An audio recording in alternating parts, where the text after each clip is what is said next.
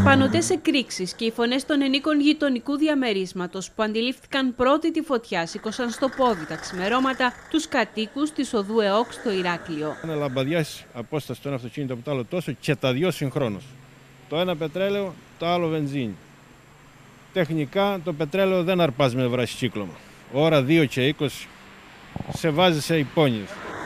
Ένα επαγγελματικό βαν και ένα γιοταχή είχαν λαμπαδιάσει με τις εκρήξεις να προέρχονται από τα ελαστικά και τα ρεζερβουάρ των αυτοκινήτων που έγιναν παρανάλωμα του πυρός. Κάτι, αλλά εξακολουθούσα να ακούω μπαλωθίε. Είδα κάτι παιδιά ήταν στο μπαλκόνι. Του λέω: Σας παρακαλώ, ρε παιδιά, μπείτε μέσα. Είχα κάτι κοπέλια μικρά.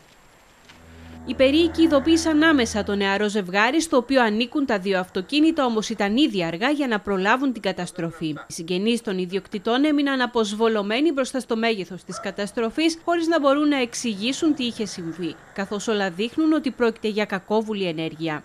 Κοιτάξτε, ρε παιδιά, δεν έχεις πειράξει το μυρμήγκι κανείς.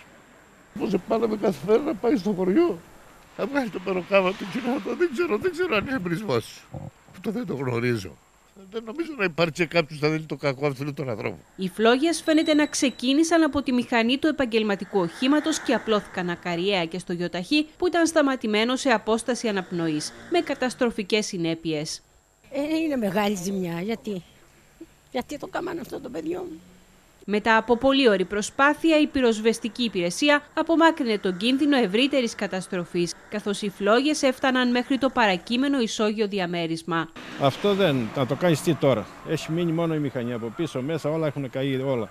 Απαντήσεις για τις ακριβείς συνθήκες του περιστατικού αναζητά το ανακριτικό τμήμα της πυροσβεστικής υπηρεσίας που διενεργεί προανάκριση. Δεν έχουμε αντιδικία με κανένα.